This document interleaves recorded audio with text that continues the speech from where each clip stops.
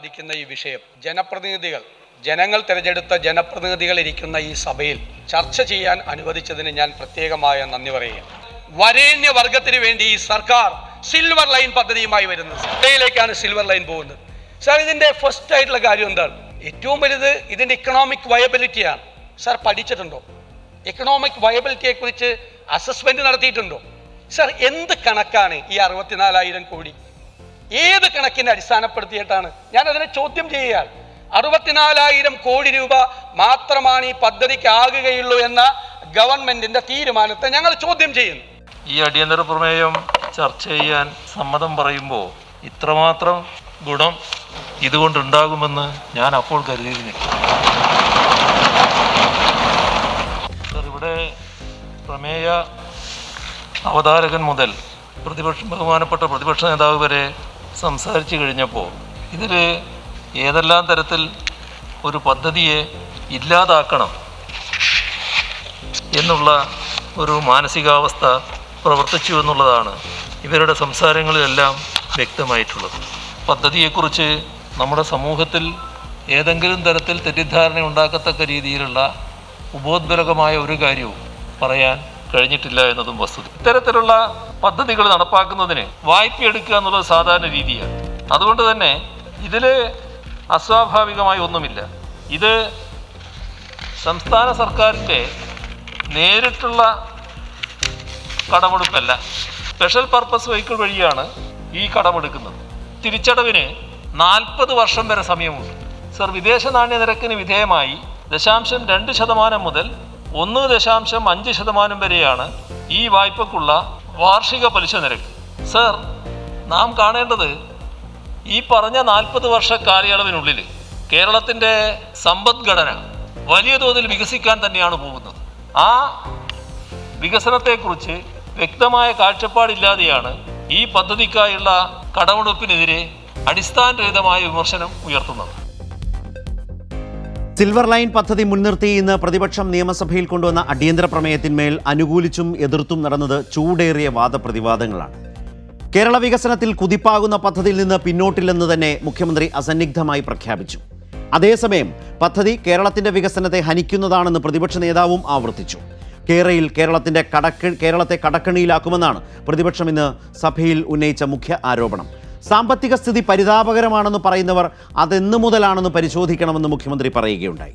രണ്ടായിരത്തി പത്ത് മുതലുള്ള സാമ്പത്തിക സ്ഥിതിയുടെ കണക്കുകൾ നിരത്തി മുഖ്യമന്ത്രി പ്രതിപക്ഷത്തിന്റെ ആ പുതിയ ആരോപണത്തിന്റെയും മുന്നേ ഒടിച്ചു. വായ്പ പുനരധിവാസം സാമൂഹിക ആഘാതം പാരിസ്ഥിതികാഘാതം തുടങ്ങി പ്രതിപക്ഷ എതിർപ്പുകൾ ഓരോന്നിനും ഭരണപക്ഷ ഭരണപക്ഷ അംഗങ്ങൾ മറുപടിയും നൽകി. ചോദ്യങ്ങളും ഉത്തരങ്ങളും ആരോപണങ്ങളും ചർച്ചകളുമെല്ലാം സഭാരേഖയാവുമ്പോൾ കേരളിനെക്കുറിച്ചും കേരളത്തിന്റെ ഭാവിയെക്കുറിച്ചുമുള്ള വലിയ ആലോചനകൾക്ക് മുന്നിൽ ബാക്കിയാവുന്നത് എന്തൊക്കെയാണ്?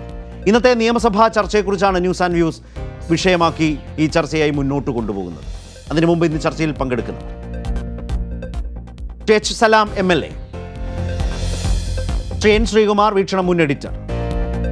രാഷ്ട്രീയ നിരീക്ഷകൻ ഡോക്ടർ പ്രേംകുമാർ. ശ്രീ എൻ ശ്രീകുമാർ. ഇന്ന് മുഖ്യമന്ത്രി ചർച്ചയിൽ ഒരു വിലയിരുത്തൽ കൂടി നടത്തുകയുണ്ടായി. അതായത് ഇത്തരമൊരു വിഷയം സഭ അറിയാതെ സഭ ചർച്ച ചെയ്യാതെ എന്ന നിലയിൽ പ്രതിപക്ഷം പുറത്തൊരു ആരോപണമായി ഉന്നയിച്ചിരുന്നു. അന്നും സർക്കാർ പറഞ്ഞത് അത്തരം ഒരു മടിയുമില്ല അതിന്റെ സമയമാകുമ്പോൾ അത് ചെയ്യും എന്ന നിലയിൽ ഈ പുറത്ത് വലിയ ചർച്ച നടന്ന കാലത്ത് പറഞ്ഞത് നമ്മുടെയൊക്കെ മുമ്പിലുണ്ട്. ഇന്നിപ്പോൾ അത് ചർച്ച ചെയ്യാൻ സാഹചര്യം ഒരുങ്ങുന്നു. ആ ചർച്ചയുടെ ഘട്ടത്തിൽ തന്നെ ചർച്ചയുടെ സാധ്യതകളെക്കുറിച്ച് എനിക്ക് തോന്നുന്നു പ്രതിപക്ഷം പോലും പറയാത്ത പ്രതിപക്ഷം പറയാത്ത ഒരു വിലയിരുത്തൽ ഭരണപക്ഷത്തു നിന്നുണ്ടായി. അത് പറഞ്ഞത് മുഖ്യമന്ത്രിയാണ്. മുഖ്യമന്ത്രി പറഞ്ഞത് ചർച്ച വിചാരിച്ചതിലും നേട്ടമായി എന്നാണ്. ആ ഒരു വിലയിരുത്തൽ പൊതുവിൽ ഭരണപക്ഷത്തിനും സർക്കാരിനും ഉണ്ട് എന്നാണ് അതിൽ നിന്ന് മനസ്സിലാക്കേണ്ടത്. അപ്പോൾ പ്രതിപക്ഷത്തിന് ഉദ്ദേശിച്ച നേട്ടം ഇന്നത്തെ ഈ ചർച്ച കൊണ്ട് ഉണ്ടായോ? തീർച്ചയായിട്ടും പ്രതിപക്ഷത്തിന് ഉദ്ദേശിച്ച നേട്ടം ഉണ്ടായി എന്ന് മാത്രമല്ല മുഖ്യമന്ത്രിക്ക് അത് ദോഷവും ചെയ്തിട്ടുണ്ട്. ഞാൻ ഈ ചർച്ച മുഴുവൻ കണ്ടില്ല അത് അറിയാമല്ലോ ഞാൻ മുഴുവൻ കണ്ടില്ല. അത് എച്ച് സ്ഥലം കൂടി ഇരിക്കുന്നതുകൊണ്ട് ഞാൻ എന്തെങ്കിലും പറഞ്ഞു കഴിഞ്ഞാൽ ചിലപ്പോൾ തെറ്റിദ്ധാരണ തെറ്റ് വന്നാൽ അത് മോശമാകും. അതുകൊണ്ട് ഞാൻ മുഴുവൻ കണ്ടില്ല. പക്ഷെ ഞാൻ കണ്ടതും ഞാൻ കേട്ടതും വെച്ചുകൊണ്ട് ഞാൻ പറയാം. ഈ ചർച്ച പ്രതിപക്ഷത്തിന് വളരെ ഗുണകരമായി. കാരണം എന്താണെന്ന് വെച്ചാൽ ഇതിന് വ്യക്തമായ ഒരു ഉത്തരം നൽകാൻ മുഖ്യമന്ത്രിക്ക് പറ്റിയില്ലെന്ന് മാത്രമല്ല അദ്ദേഹം പറഞ്ഞ ഒരു വിശദീകരണം പാളിപ്പോവുകയും ചെയ്തു. ആ പാളിപ്പോയ വിശദീകരണം ശ്രീ എച്ച് സലാം എന്താ പറയുന്നത് നോക്കിയിട്ട് ഞാൻ പറഞ്ഞു തരാം ഇതിന്റെ പ്രതിപക്ഷത്തിനുണ്ടായ പ്രധാനപ്പെട്ട ഗുണം എന്താണെന്ന് വെച്ചാൽ സി പി ഐയെ വഴിവെക്ക് വഴിക്ക് കൊണ്ടുവരാൻ മുഖ്യമന്ത്രിക്ക് സാധിച്ചു എന്നുള്ളതാണ്. സി പി ഐയുടെ നിലപാട് എന്താണെന്നറിയാൻ പ്രതിപക്ഷത്തിന് സാധിച്ചു എന്നുള്ളതാണ്. സി പി ഐ പറഞ്ഞ എന്താ? എയ്ഡ് പദ്ധതിയെ കുറിച്ച് എൽ ഡി എഫിൽ ചർച്ച ചെയ്തിട്ടില്ല സി പി ഐ ചർച്ച ചെയ്തിട്ടില്ല സി പി എം അക്കാര്യത്തിൽ ഏകപക്ഷീയമായ നിലപാടെടുത്താൽ അത് ശരിയാവില്ല ജനങ്ങൾക്ക് ഇഷ്ടമില്ലാത്ത കാര്യങ്ങൾ നടപ്പാക്കുമ്പോൾ ആലോചിക്കണമെന്ന് പറഞ്ഞു. പക്ഷെ ഇന്ന് സംസാരിച്ച സി പി ഐ പ്രതിനിധി ഞാൻ കേട്ട സുബാലാണ്. സുബാൽ അത് അതിനെ പിന്താങ്ങി സംസാരിച്ചു. അപ്പൊ സി പി ഐ എന്തായാലും കേരളിനെ പിന്താങ്ങി സംസാരിച്ചതോടെ നാളെ സി പി ഐക്ക് കേരളിനെതിരെ ഒന്നും പറയാൻ കഴിയില്ല.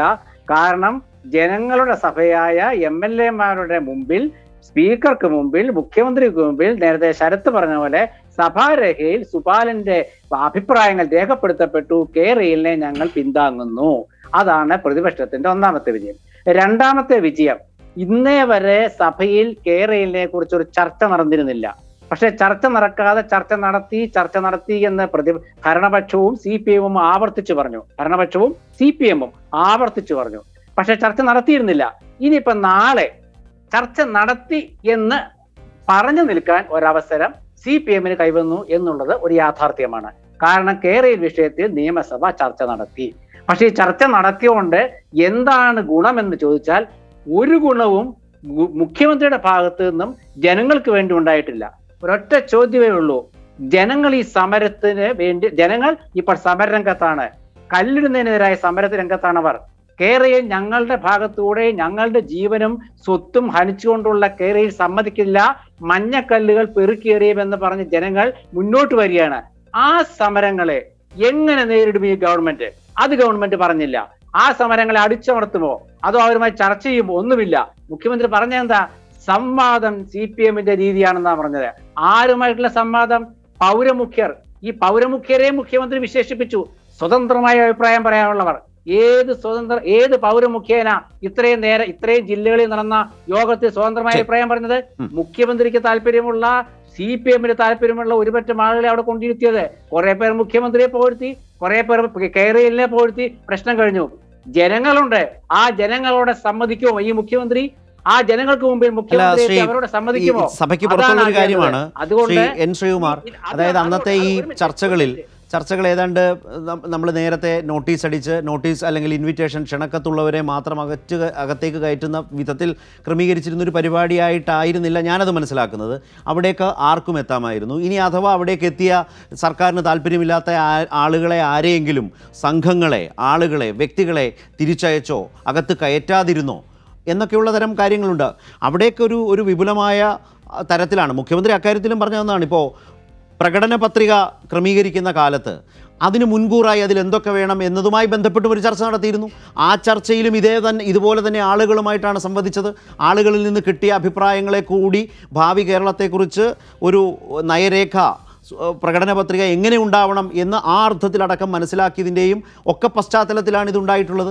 അപ്പോൾ അതിനെ പ്രതിപക്ഷത്തിന് രാഷ്ട്രീയമായി ആക്ഷേപിക്കാം എന്നതിനപ്പുറം അതിൽ എന്ത് കഴമ്പാണുള്ളത്? ഈ പ്രശ്നം കേരളയിൽ പ്രശ്നം എൽ ഡി എഫിൽ ചർച്ച ചെയ്തിട്ടില്ല. പ്രകടന പത്രികയിലുണ്ട്. ഞാൻ നമ്മൾ ശരത്തെ നമ്മൾ ഇതിനു മുമ്പ് ചർച്ച ചെയ്തിട്ടുണ്ട് ഈ കാര്യങ്ങൾ അതൊരു വിരോധാഭാസമല്ലേ പറയുന്നത്? അതൊരു വിരോധാഭാസമല്ലേ? അല്ല അത് ഏത് മുന്നണിയിലും ആവട്ടെ? എൽ ഡി എഫ് ആയാലും അല്ല. യു ഡി എഫ് ആയാലും. അല്ല. അല്ല. വിരോധാഭാസമല്ല. സാധാരണഗതിയിലെ നമുക്കൊക്കെ രാഷ്ട്രീയം അറിയുന്ന നമുക്കൊക്കെ അറിയാം. പ്രകടന പത്രിക എന്ന് പറയുന്നത് ഏത് മുന്നണിയാണെങ്കിലും മുഖ്യ കക്ഷികൾ ചില തീരുമാനങ്ങൾ എടുക്കും. ആ തീരുമാനങ്ങൾ വലിയ കുഴപ്പം വേണ്ടിയാണല്ലോ പ്രകടന പത്രിക. അത് അങ്ങനെയാണ് അങ്ങനെ ആയതുകൊണ്ടാണല്ലോ സി പി ഐ പറഞ്ഞത് എൽ ഡി എഫിൽ ചർച്ച ചെയ്തിട്ടില്ല പറഞ്ഞു. അല്ല പറഞ്ഞ സി സുബാൽ പി ഇന്ന് ഐ ചർച്ച ചർച്ച ചെയ്തു. ചെയ്തിട്ടില്ലെന്നവർ പറഞ്ഞു. അല്ല സുബാൽ ഇന്ന് പറഞ്ഞുകൂടി. മാറിയില്ലേ? അത് ഞാൻ ആദ്യം പറഞ്ഞല്ലോ. സുബാലിന്റെ ആശയക്കുഴപ്പം ഞാൻ ആദ്യം പറഞ്ഞല്ലോ. ആശയക്കുഴപ്പം മാറിയില്ല? പറയാൻ അനുവദിക്കൂ പ്ലീസ് അല്ല അല്ല ശ്രീ ശ്രീകുമാർ സാർ അല്ല ഞാൻ താങ്കളുടെയും ആശയക്കുഴപ്പം അങ്ങനെയാണെങ്കിൽ മാറണ്ടേ? കാരണം സുബാലി പറഞ്ഞോടുകൂടി. ഈ അഭ്യൂഹങ്ങൾക്ക് പുറകെ നമ്മൾ പോകണോ? ഒരു പാർട്ടിയുടെ നിലപാട് എന്താണ് എന്ന് രേഖപ്പെടുത്തപ്പെട്ട സാഹചര്യത്തിൽ അത് ആ പാർട്ടി അപമാനിക്കാതെ നമ്മൾ അതിൽ നിന്ന് പിൻവാങ്ങുകയല്ലേ യഥാർത്ഥത്തിൽ വേണ്ടത്? അല്ല ഞാൻ പറഞ്ഞാൽ ഇന്നത്തെ കാര്യമാണ് ഞാൻ സുബാലിന്റെ കാര്യം പറഞ്ഞത്. നാളെ ഇന്നലെ വരെ അല്ല ഇന്ന് ഇന്നലെ വരെ സി പി ഐ പറഞ്ഞ കാര്യം ഞാൻ പറഞ്ഞത്. ഇന്ന് ഉച്ചയ്ക്ക് ഒരു മണി വരെ സി പി ഐ പറഞ്ഞ കാര്യം ഞാൻ പറഞ്ഞത്. ഇന്ന് അതായത് കാനൻ രാജേന്ദ്രൻ വ്യക്തമായിട്ട് നിങ്ങൾ ക്ലിപ്പ് എടുത്ത് നോക്ക് ശരത്തെ. വ്യക്തമായി പറഞ്ഞിട്ടുണ്ട്. ഇക്കാര്യത്തിൽ ജനങ്ങൾക്ക് ഇഷ്ടമില്ലാത്ത പദ്ധതി നടപ്പാക്കാൻ പറ്റില്ല. കേരളിനെ കുറിച്ച് പ്രകാശ് ബാബു ഒരുപാട് ലേഖനങ്ങൾ എഴുതിയിട്ടുണ്ട്. കേരളിനെ കുറിച്ച് സി പി ഐ അഭിപ്രായം പറഞ്ഞിട്ടുണ്ട്. എൽ ഡി എഫിൽ ഈ വിഷയം ചർച്ച ചെയ്തിട്ടില്ല. ചർച്ച ചെയ്തിട്ടില്ല. അങ്ങനെ ചർച്ച ചെയ്യാത്ത വിഷയ പ്രകടന പത്രികയിലുണ്ട് ഞാൻ അതാ പറഞ്ഞു വരുന്നത്. പ്രകടന പത്രികയിൽ ജനങ്ങൾക്ക് മുമ്പിൽ അവതരിപ്പിക്കുന്ന പ്രകടന പത്രികയിൽ നമ്മൾ ജയിക്കാൻ വേണ്ടി പലതും പറയും. അതിന്റെ കൂട്ടത്തിൽ ഇതും പറഞ്ഞിട്ടുണ്ട്? ഇല്ലെന്ന് ഞാൻ പറയുന്നില്ല. പക്ഷെ അതുകൊണ്ട് ചർച്ച ചെയ്യാതെ എനിക്ക് ശ്രീകുമാർ സാർ താങ്കളെ പോലെ ഒരു മാധ്യമ പ്രവർത്തനം അത് പറയുന്നുണ്ടാണ് ഞാൻ ഇടപെടുന്നത്. കാരണം പ്രകടന പത്രികയിൽ പലതും പറയും എന്ന് പറയുന്നത് അല്ല അതൊരു വലതുപക്ഷ സംസ്കാരമാണ്. ഇപ്പുറത്ത് ഈ സർക്കാർ അല്ലെങ്കിൽ ആ മുന്നണി പറയുന്നത് നിഷ്പക്ഷമായി നമ്മളൊന്ന് ആലോചിച്ച് നോക്കൂ. ഇത്ര കാര്യങ്ങൾ ഞങ്ങൾ പറഞ്ഞു. ഇപ്പോൾ സലാമ പറയാനുണ്ടെങ്കിലും കേട്ടിരുന്നുകൊണ്ട് പറഞ്ഞു പോയതാണ്. ഇപ്പോൾ ഇത്ര കാര്യങ്ങളുണ്ട്. ഇത്ര കാര്യങ്ങൾ നടപ്പാക്കി. അതിൽ ഇനിയും ഇത്ര നടപ്പാക്കും. ഇതിന്റെ തുടർച്ചയിൽ ദാ പ്രകടന പത്രിക ഇതാണ്. ഓരോ വർഷവും അതിന്റെ സ്റ്റെപ്പ് ബൈ ഇങ്ങനെ പറയുന്ന ഒരു കൾച്ചർ പൊളിറ്റിക്കൽ കൾച്ചർ കൾച്ചർ ഒരു സിവിൽ സൊസൈറ്റി കൾച്ചർ പ്രകടന പത്രികയുമായി ബന്ധപ്പെട്ട് നമ്മുടെ നാട്ടിൽ നിൽക്കുമ്പോൾ അത് ആര് ആ സംസ്കാരം രൂപപ്പെടുത്തിയാലും നമ്മൾ അഭിനന്ദിക്കേണ്ടതാണ്. താങ്കളെപ്പോലൊരു സീനിയർ ജേർണലിസ്റ്റ് അത് ചെയ്യേണ്ടതല്ലേ എന്നാണ് ഞാൻ ചോദിച്ചത്. ഇത് അതിന് പകരം ഇത് വെറും ഉണ്ടായിരുന്നു ഉടായ്പാണ് എന്ന നിലയിലേക്ക് നമ്മൾ അതിനെ പരിമിതപ്പെടുത്താമോ? ഞാൻ ഞാൻ ഒരു ഒരുപാട് തരത്തിൽ ഇടപെട്ടു എന്നുള്ളത് അതായത് ഞാൻ പറഞ്ഞത് നിങ്ങൾക്ക് ചിരിക്കാൻ തോന്നുന്നു എന്താ കാരണം എന്നറിയാവോ? ഈ പ്രകടന പത്രികയിൽ കേരളിനെ കുറിച്ച് പറഞ്ഞിട്ടുണ്ട് ഇല്ലെന്ന് ഞാൻ പറയുന്നില്ല. ഞാൻ എന്നും ഈ അഭിപ്രായത്തിൽ തന്നെയാ പറഞ്ഞേ. പക്ഷെ കേരയിൽ വിഷയം പ്രകടന പത്രികയിൽ ഉൾപ്പെടുത്തി എന്നുള്ള സത്യമാണ് സത്യമാണ്. പക്ഷേ അത് എൽ ഡി എഫിൽ ചർച്ച ചെയ്യാതെയാണ് പ്രകടന പത്രികയിൽ ഉൾപ്പെടുത്തിയത്. അത് സി പി അറിഞ്ഞിട്ടില്ല. അറിഞ്ഞിട്ടില്ല എന്ന് സി പി ഐ പറയുന്നേ. മാത്രമല്ല സി പി ഐയുടെ സംസ്ഥാന കമ്മിറ്റിയും ഈ കാര്യം ചർച്ച ചെയ്തിട്ടില്ല. അതുവരെ പറഞ്ഞിട്ടുണ്ട്. അങ്ങനെ ഇരിക്കുമ്പോഴാണ് നമുക്ക് ചിരി വരും. ഞാനായാലും ചിരിക്കും. വിഡ്ഢിത്തമല്ലത്. മുതിർന്ന മാധ്യമ പ്രവർത്തകർ നിങ്ങൾ പറഞ്ഞെങ്കിൽ എനിക്ക് പറയാതിരിക്കാൻ നിവർത്തില്ല സത്യമാണത്. ഈ സത്യം ഞാനതിലേക്ക് വരാം.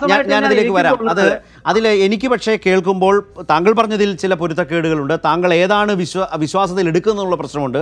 ഇന്ന് ആ പാർട്ടിയുടെ ഒരു എം എൽ എ സഭയിൽ പറഞ്ഞിട്ടും വീണ്ടും ഇതെങ്ങും ചർച്ച ചെയ്യാതെ ഒരു പാർട്ടി വളരെ അന്തരീക്ഷത്തിൽ നിൽക്കുന്നു എന്ന നിലയിൽ ഒരു ഒരു പാർട്ടിയെ സമീപിക്കുന്നോ താങ്കൾ എന്നുള്ള പ്രശ്നം വീണ്ടും തോന്നുന്നുണ്ട്. ഞാൻ വരാം. ഇപ്പോൾ ശ്രീ സലാമുണ്ട് അതുപോലെ ശ്രീ പ്രേംകുമാറുണ്ട്. ഞാൻ വീണ്ടും താങ്കളിലേക്ക് വരാം. ഇവിടെ എന്റെ ചോദ്യം ഇപ്പോൾ ശ്രീ ശ്രീകുമാർ പറഞ്ഞ ഒരു കാര്യമുണ്ട് ശ്രീ സലാം. അതായത് ഇതിന്റെ നേട്ടം പ്രതിപക്ഷത്തിനാണ് എന്നാണ് അദ്ദേഹം മനസ്സിലാക്കുന്നത്. അദ്ദേഹം പൂർണമായി ഇത് കണ്ടില്ല എന്ന് തുടക്കത്തിൽ തന്നെ പറഞ്ഞു. പക്ഷേ കണ്ടതും കേട്ടതും വെച്ച് അദ്ദേഹം മനസ്സിലാക്കുന്നത് പ്രതിപക്ഷത്തിനാണ്.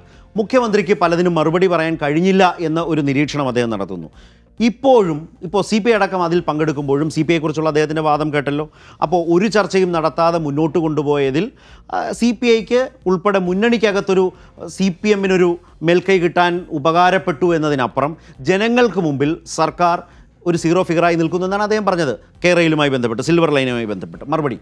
ശ്രീ പിന്നെ ശ്രീകുമാർ അദ്ദേഹം മുതിർന്ന ഒരു മാധ്യമ പ്രവർത്തകനാണ്. പക്ഷെ അദ്ദേഹം വീക്ഷണത്തിലായി പോയി എന്നുള്ളത് കൊണ്ട് അദ്ദേഹത്തിന്റെ ഭാഷ ഇങ്ങനെ നമുക്ക് കേൾക്കാൻ പറ്റൂ. അതാണ് അടിസ്ഥാനപരമായ കാര്യം അതാണ്.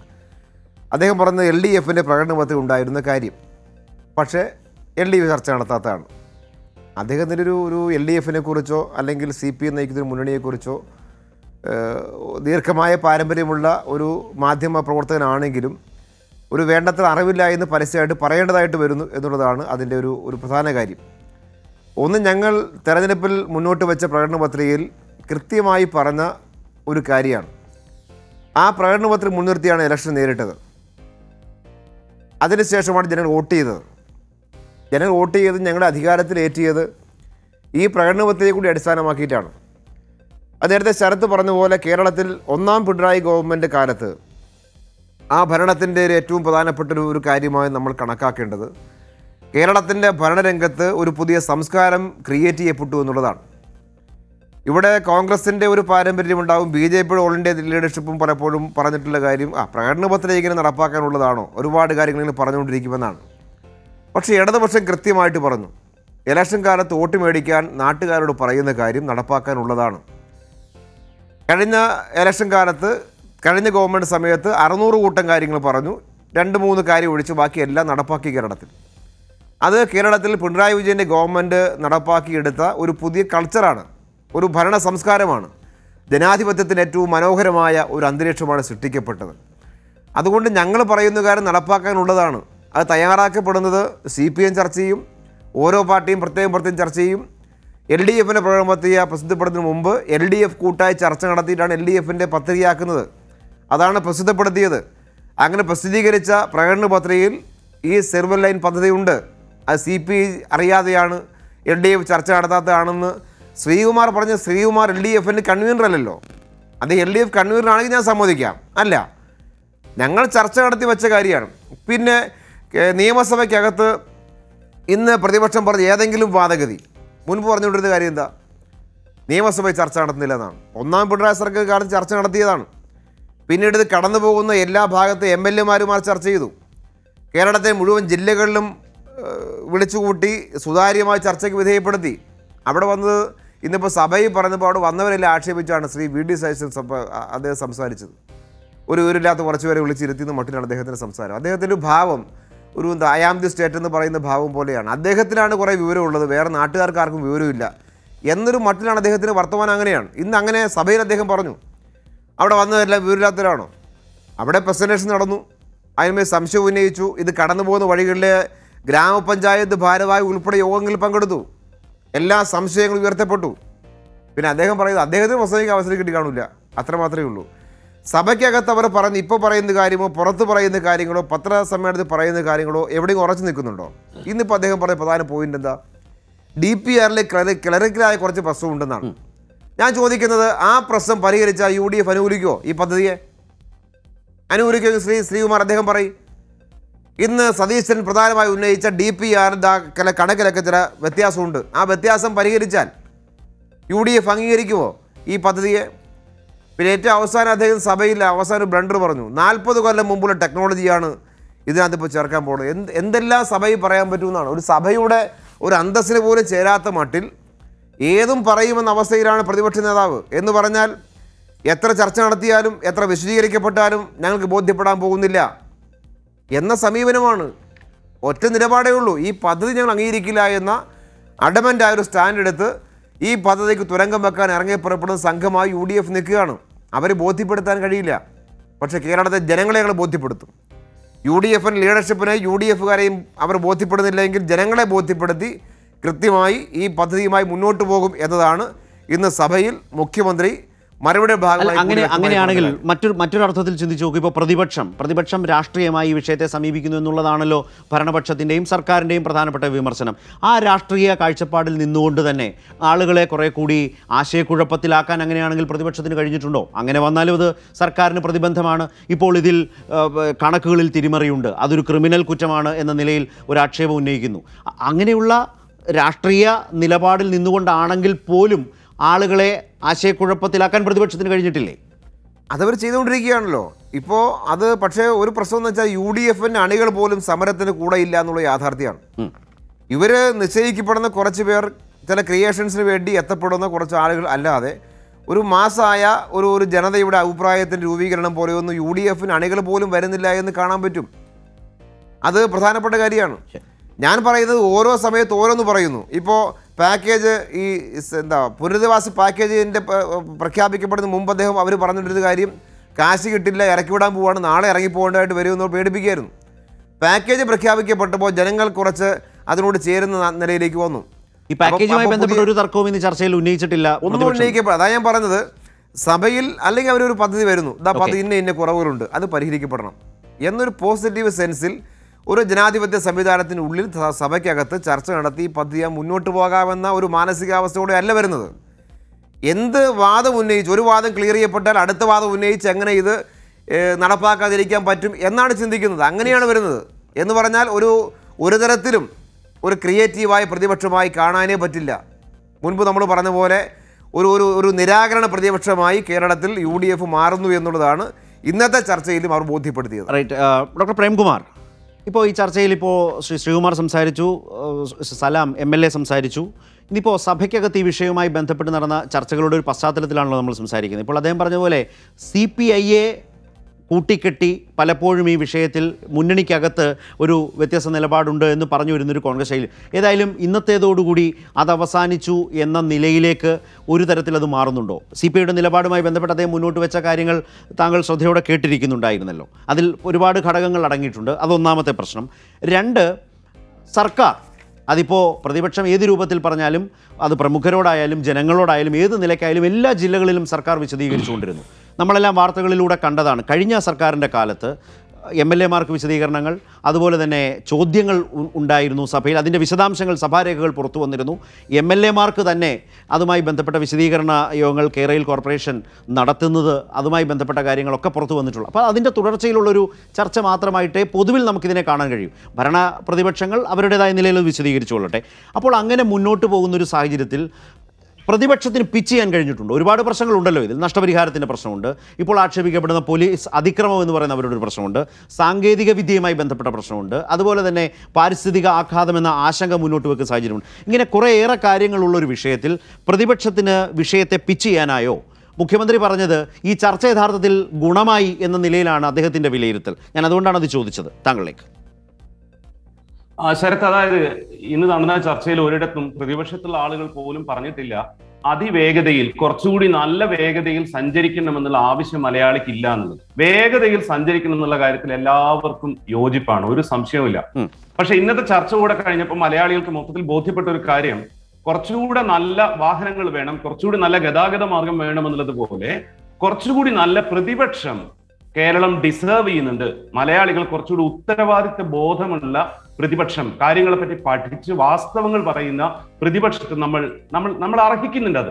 അത് പോലും തരാൻ വി ഡി സതീശൻ നയിക്കുന്ന പ്രതിപക്ഷത്തിന് ആവുന്നില്ല എന്നുള്ളതാണ് സങ്കടം. അടിയന്തര പ്രമേയം എന്നാണ്. നമ്മുടെ നാട്ടിലെ അടിയന്തരം എന്ന് പറഞ്ഞാൽ പതിനാറ് അടിയന്തരത്തിലാണ് പറയുക. ഇന്ന് മാർച്ച് പതിനാല് ഒരു പതിനാല് അടിയന്തരം പോലെയായിരുന്നു.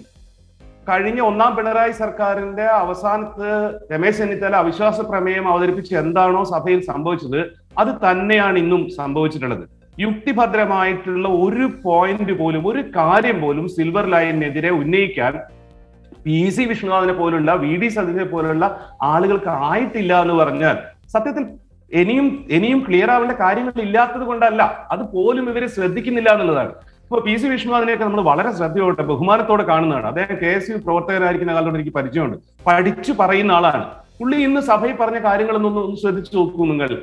അയാൾ പറയുന്നത് ഇപ്പൊ ഞാൻ കേട്ട സിൽവർ ലൈനെ പറ്റി കേട്ട ഏറ്റവും തമാശയുള്ള സ്റ്റേറ്റ്മെന്റ് ബോട്ട് ഓടിച്ചാൽ മതി എന്നുള്ള കാരശ്ശേരി മാഷയുടെ പ്രതികരണമായിരുന്നു. രണ്ടാം സ്ഥാനത്ത് നിന്നിരുന്ന കെ സുധാകരന്റെ പ്രതികരണമായിരുന്നു. വീതി കുറഞ്ഞ ട്രാക്കിലൂടെ സ്റ്റാൻഡേർഡ് ഗേജിലൂടെ ഇത്ര വേഗതയിൽ തീവണ്ടി പോയാൽ മറിഞ്ഞു വീണു എന്നുള്ളതായിരുന്നു.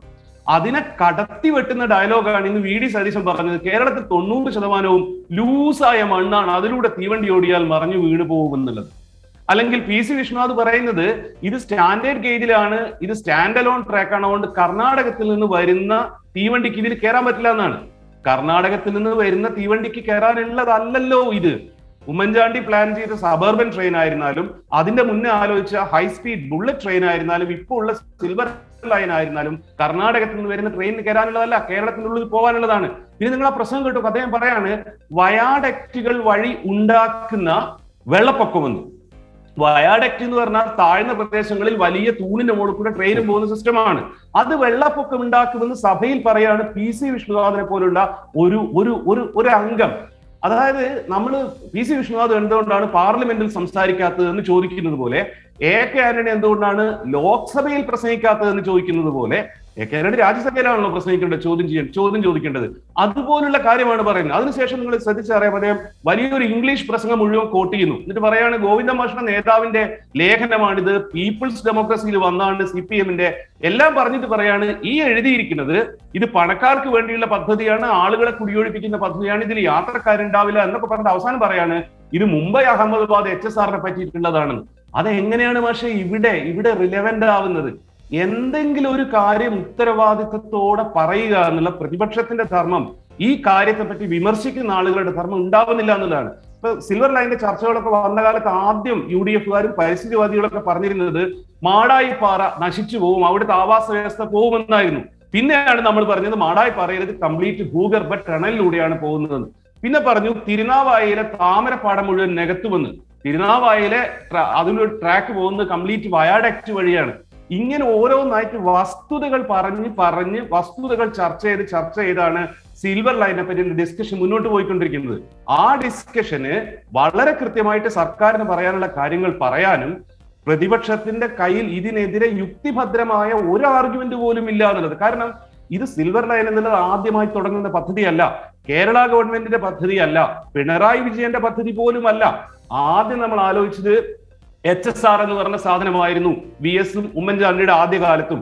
അത് പറ്റില്ല എന്ന് നമ്മൾ തീരുമാനിച്ചു അഥവാ യു ഡി എഫ് ഗവൺമെന്റ് തീരുമാനിച്ചു. Kunhalikutty minister Kunhalikutty P K Kunhalikutty പറയുന്നുണ്ടായിരുന്നത് നൂറ്റി പതിനെട്ട് ഒരു ലക്ഷത്തി പതിനെട്ടായിരം കോടി രൂപ ചെലവ് വരും. ഇരുപത്തിരണ്ടായിരം ഇരുപത്തിരണ്ട് കോടി രൂപ ഡി എം ആർ സിക്ക് കൊടുത്തു. എന്നിട്ട് അത് വേണ്ടാന്ന് വെച്ചു.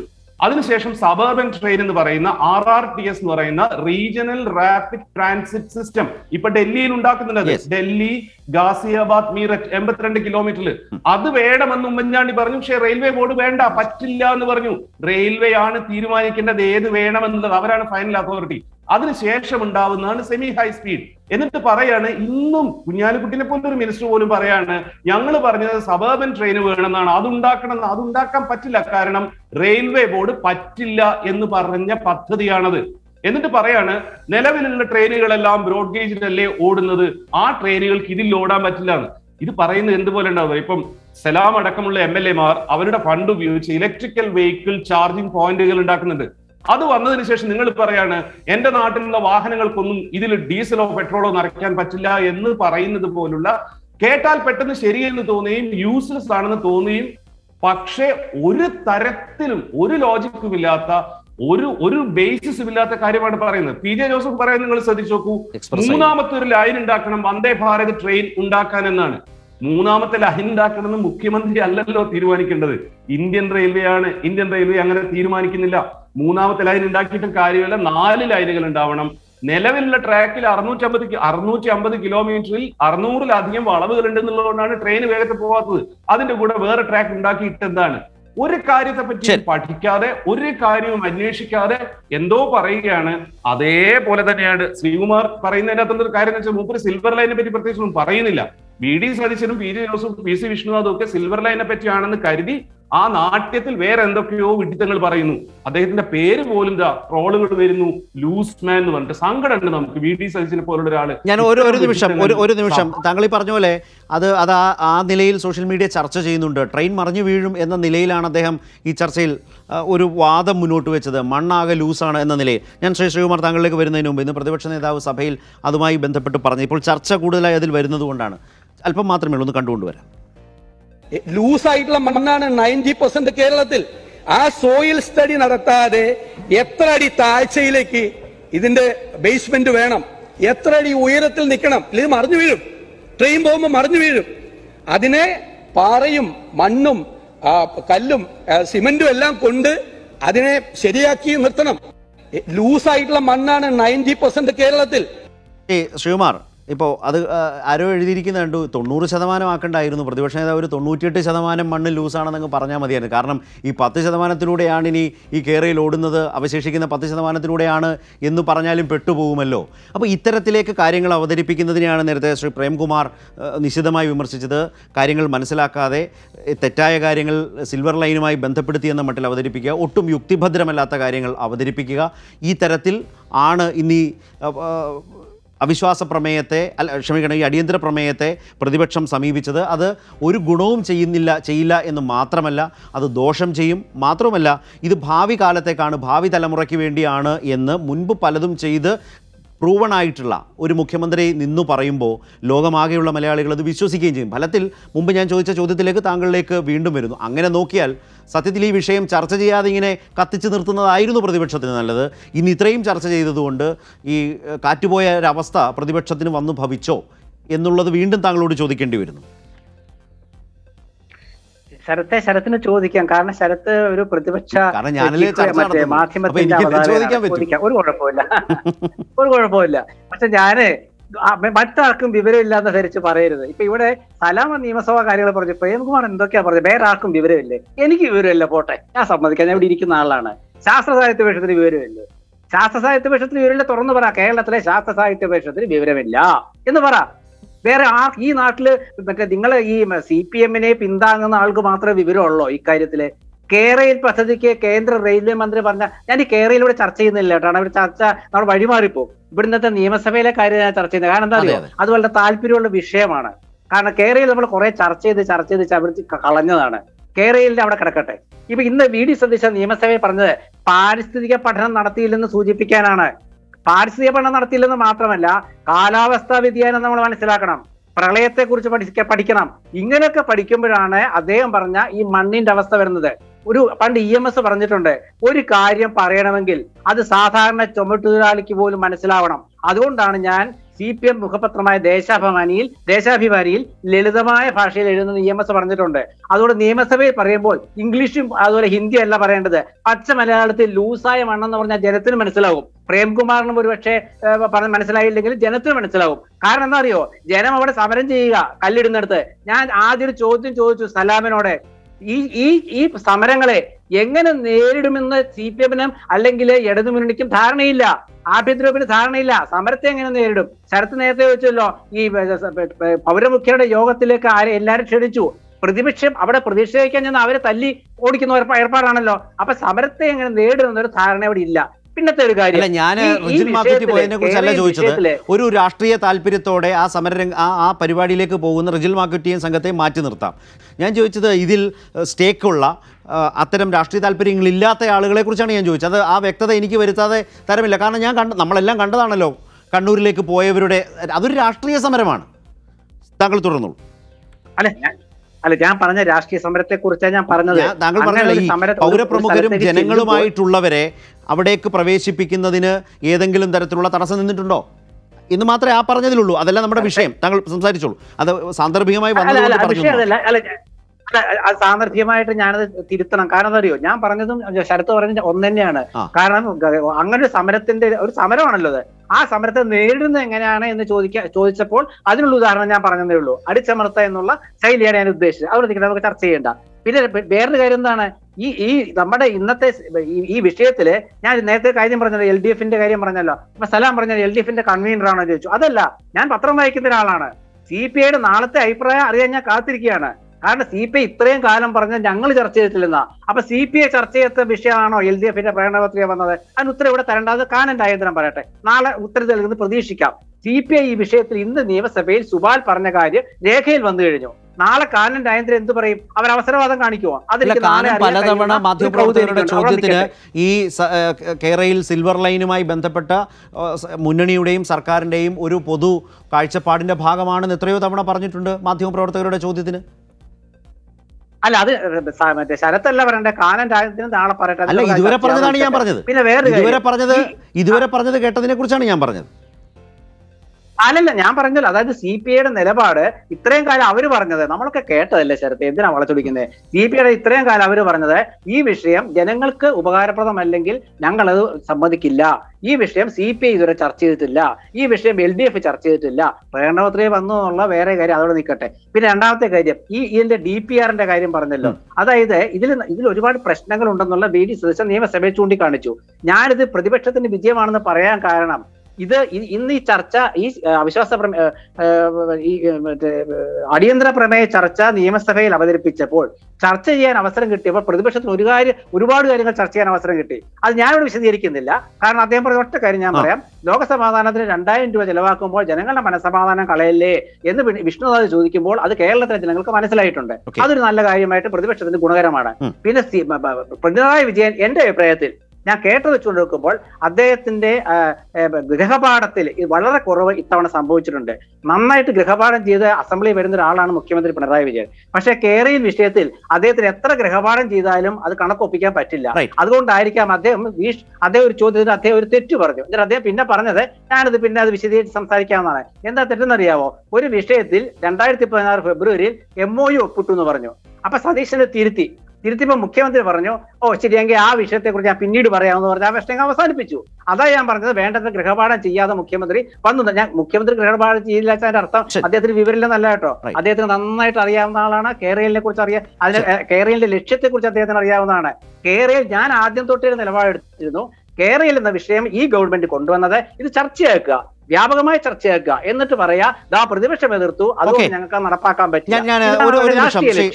അതാണ് അതിന്റെ സലാം. ഇപ്പോൾ അദ്ദേഹം ആവർത്തിക്കുന്നത് ഈ തരം പോയിന്റുകളാണ്. നേരത്തെ ഡോക്ടർ പ്രേംകുമാർ പറഞ്ഞ വാദമുണ്ട്. പുറത്തുനിന്ന് കാണുന്ന ഒരാളെ സംബന്ധിച്ച് രണ്ടാളുകളും പുറത്തു നിന്നാണ് സഭയ്ക്ക് പുറത്തു നിന്നുള്ള ആളുകളുടെ രണ്ട് കാഴ്ചകളാണ്. മുഖ്യമന്ത്രി ഗൃഹപാഠം ചെയ്യാതെയാണ് ഈ കാര്യത്തെ അവതരിപ്പിച്ചത് എന്ന നിലയിലേക്ക് വരെ ശ്രീ ശ്രീകുമാറിന്റെ വാദം എത്തി നിൽക്കുകയാണ്. പക്ഷേ ഈ ഉമ്മൻചാണ്ടി സർക്കാരിന്റെ കാലത്ത് ഈ വന്നിട്ടുള്ള ബുള്ളറ്റ് ട്രെയിൻ അതിന്റെ സർവകക്ഷി യോഗങ്ങൾ അന്ന് എല്ലാ കക്ഷികളും അതിന് അനുകൂലമായി നിന്ന് പണം സ്വരൂപിക്കാൻ കഴിഞ്ഞാൽ അതുമായി മുന്നോട്ട് പോകട്ടെ എന്ന് നൽകിയിട്ടുള്ള അനുമതി എല്ലാവരുടെയും പിന്തുണ. അതനുസരിച്ച് മുഖ്യമന്ത്രി പറഞ്ഞിട്ടുള്ള അന്ന് മുഖ്യമന്ത്രി ആയിരിക്കും ഉമ്മൻചാണ്ടി പറഞ്ഞിട്ടുള്ള വാദങ്ങളെല്ലാം സമൂഹത്തിന് മുമ്പിൽ ഏതെങ്കിലും ഘട്ടത്തിൽ ആ സർക്കാർ ആ പദ്ധതി ഉപേക്ഷിച്ച് ഉപേക്ഷിച്ചതായി കേരളത്തിന് അറിവില്ല. മാത്രവുമല്ല അതിനുശേഷം കേരളം ഒരു തെരഞ്ഞെടുപ്പിലേക്ക് പോകുക അതാണ് സഭയിൽ സാന്ദർഭികമായി ഉയർന്നു വന്നൊരു പ്രശ്നം. പക്ഷേ അതിൽ ഉയർന്നു വന്ന ഒരു വിഷയത്തിൽ പ്രതിപക്ഷ നേതാവ് ഉന്നയിച്ച വിഷയത്തിൽ മുഖ്യമന്ത്രി പരിശോധിച്ചു പറയാം എന്ന് പറഞ്ഞതിനെ ചൂണ്ടിക്കാട്ടിക്കൊണ്ട് സർക്കാരിന്റെ ഇക്കാര്യത്തിലുള്ള വാദങ്ങൾ നിലപാടുകൾ അത് അവതരിപ്പിക്കാനായില്ല എന്നൊരു നിഗമനത്തിലേക്ക് പോയാൽ നിലപാടിലേക്ക് അദ്ദേഹം പോയാൽ എന്ത് മറുപടിയാണ് താങ്കൾക്ക് അക്കാര്യത്തിൽ പറയാനുള്ളത്? ഒന്ന് യു ഡി എഫ് ഇക്കാര്യത്തിൽ എടുക്കുന്ന ഒരു സമീപനം കുറച്ചുകൂടി ആഴത്തിൽ നമ്മളൊന്ന് ഒന്ന് പബ്ലിക്കിലേക്ക് പറയേണ്ട കാര്യം. കുറച്ച് കാര്യം ഡോക്ടർ പ്രേംകുമാർ അദ്ദേഹം പറഞ്ഞു. ഇന്ന് സഭയിൽ എന്താ പ്രസംഗ മത്സരമാണോ? മുഖ്യമന്ത്രി മറുപടി പറഞ്ഞു വരുന്ന ഒരു ഒരു ഫോമിൽ പറഞ്ഞു വരുന്നു. അതിനിടയിൽ കയറി ഉന്നയിക്കുന്നു. സാധാരണ നിലയ്ക്ക് പ്രതിപക്ഷ നേതാവ് ഒന്ന് വഴങ്ങുമെന്ന് ചോദിച്ചാൽ സാധാരണ അദ്ദേഹം വഴങ്ങാറുണ്ട്. വഴങ്ങിയപ്പോൾ അദ്ദേഹം ഒരു മാറ്റർ പറഞ്ഞു. അദ്ദേഹം പറഞ്ഞുകൊണ്ടിരുന്ന കാര്യം പറഞ്ഞ ശേഷം മറ്റേ ആ കാര്യം ഞാൻ പിന്നീട് പറയാം. അവസാനം അദ്ദേഹം പറയുകയും ചെയ്തു. അത് പിന്നീട് ഇലക്ഷനിലേക്ക് പോകുന്ന ഒരു സമയത്ത് കാര്യം ഇവരെന്തോ ഡീപ്പായി ചർച്ച നടത്തിയിട്ട് വേണ്ട തീരുമാനിച്ചു. ഒരു അനൗൺസ്മെന്റ് ഉണ്ടോ? ഈ വീക്ഷണത്തിന്റെ പത്രത്തിന്റെ തലക്കെട്ട് നോക്കിയാൽ മതി. ഉമ്മൻചാണ്ടിയും ചെന്നൈത്തിനെ കൂടി നടത്തിയ പത്രസമ്മേളനത്തിൽ.